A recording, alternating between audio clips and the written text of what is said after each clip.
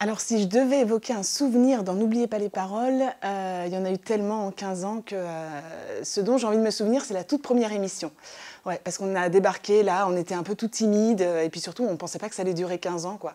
On est venu là, on pensait que ça allait durer 3 mois, 6 mois, et, on est toujours là. Et ça me ferait vraiment, vraiment plaisir de revoir cette émission.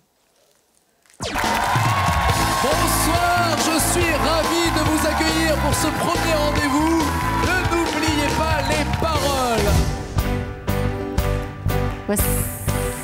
Voici, les clés pour le cas où tu changerais d'avis.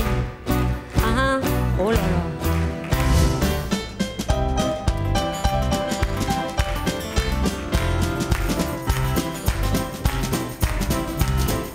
Dix ans de chaîne sans voir le jour, c'était